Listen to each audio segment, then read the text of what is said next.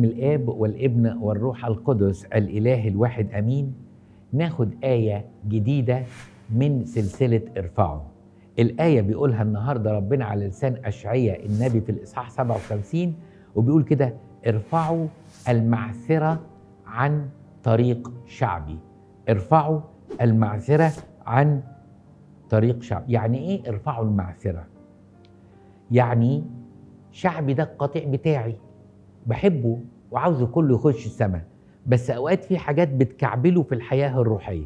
فعشان كده بقول لكم لازم أنتم ككهنة لازم أنتم كرعاة لازم أنتم كخدام وأساقفة تبعدوا العثرات عن طريق الشعب. يعني الكلام النهارده للقيادة الكنسية أو للقيادة الروحية اللي موجودة في كل كنيسة في شكل الكاهن وأمين الخدمة والخادم أو حتى الدرجات اللي أعلى من كده. يعني إيه؟ ارفعوا المعصرة عن شعبي. خلي بالكم من حاجة ربنا في العهد القديم كان حريص قوي إن يعزل شعبه عن بقية الأمم. ليه؟ لأن ربنا عارف إن الشعب ضعيف وهيتأثر بعبادة الأمم. فربنا أمر إن يبقى فيه عزلة صحيح اليهود فهموها بصورة من صور الذات والافتخار الكذاب وما كانش ده قصد ربنا لكن ربنا كان عاوز يبين لنا قصده إن على قد ما نقدر نبعد أولادنا عن الخطر اللي في العالم مش هنقدر ناخدهم بره العالم لكن نقدر نحوط عليهم على قد ما نقدر.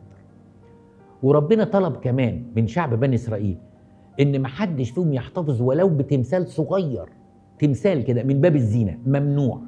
ليه اتمنع؟ لأن كل الأمم كانت بتعبد التماثيل وكانوا يؤمنوا بالتفاؤل والتشاؤم.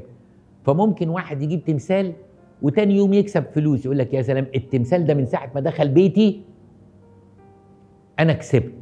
فابتدى ينسب المجد لمين؟ والبركة لمين؟ للتمثال مش لربنا. فربنا كان حريص قوي إن العثرة تخرج. وخاصة إن مفيش إنسان ما بيتأثرش. إذا كان سليمان الحكيم اللي هو سليمان الحكيم لما اتجوز نساء أجنبيات للأسف بخر للأوثان. فخلي بالكم ارفعوا المعصره عن طريق شعبي يعني أي حاجة تكعبل ابني أو بنتي أو شعبي بعيد عن ربنا لازم أشيلها من سكته. علشان كده كان ربنا حاسم قوي. مع واحد اسمه عخان ابن كرمي ونزلت آية كلكم حافظينها بتقول في وسطك حرام يا إسرائيل. بسبب خطية واحد صغيرة تعتبر خلية سرطان واحدة؟ ربنا سمح إن الشعب بتاعه يتغلب قدام قرية صغيرة اسمها قرية عاي. طب إزاي؟ ده إحنا لسه غالبين أريحة الكبيرة يعني نغلب المدينة. ونتكعبل في القرية؟ آه. لأن في وسطك حرام يا إسرائيل. في واحد أنا قلت محدش ياخد أي حاجة من أريحة. في واحد أخد حتة قطيفة وفيها حتة ذهب وحتة فضة ودفنهم تحت الخيمة بتاعته. إيه رأيكم؟ إن أنا مش هنخليكم تنتصروا قال لما تطلعوا الإنسان دوت وتطلعوه بره الشعب خالص ويرجم كمان. ليه يا رب كده؟ عشان بعلمكم إن كنتوا تاخدوا العثرة وترموها. ما ينفعش في وسطك حرام يا إسرائيل. ما ينفعش تقول أنا عندي خلية سرطانية واحدة. حتى لو كان حجمها ملي مكعب. ما ينفعش ما ينفعش لأن دي هتموت الجسم كله.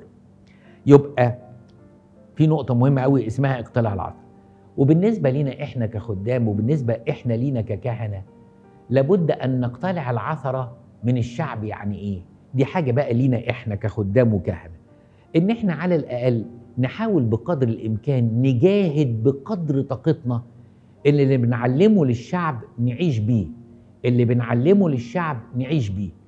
لأن في أوقات كتيرة قوي تحصل عثرة إن لما نلاقي مثلا على سبيل المثال أبونا بيقول حاجة وعايش حاجة تاني أبونا بيتكلم عن التجرد وبيصيف في أوروبا أبونا بيتكلم على احتمال الظروف الصعبة والإنسان يسيب وكل حاجة من أجل المسيح وراكب عربية ثمنها مليون جنيه.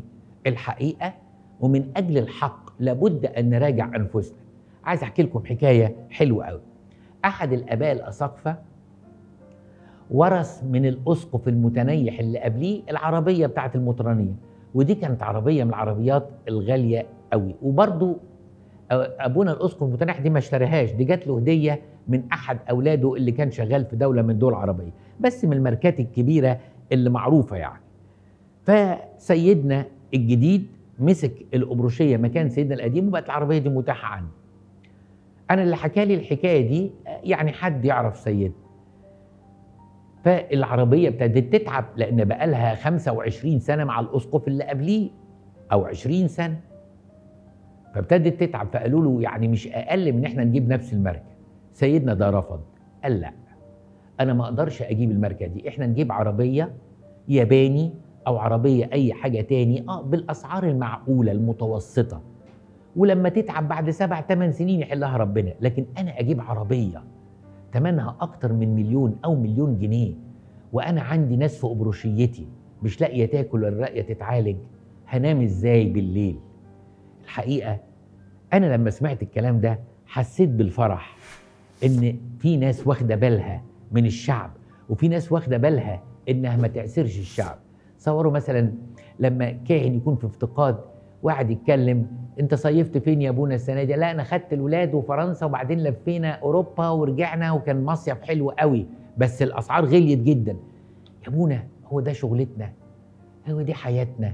ده إحنا بنقول من أجلك نمات كل النهار الناس بتشوف والناس بتتعب فلازم نخلي بالنا لأن الآية بتقول ارفعوا المعثره عن طريق شعبي ونكمل بكرة في آية جديدة. آمين.